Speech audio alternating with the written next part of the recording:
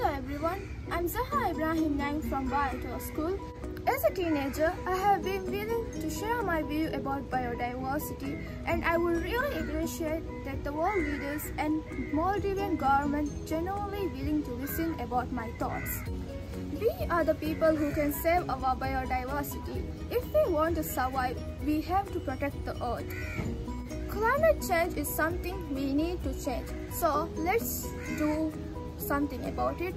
Environmental change is so critical to the people in the light of the fact that without the earth, we wouldn't be alive at the present time.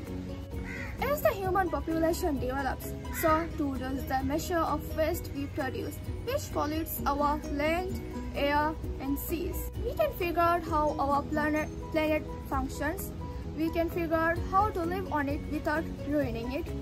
We can assist with keeping it eminent for ourselves, our kids and grandkids and other living things other than us. So world leaders, please ensure our future. You are the people who can make this happen.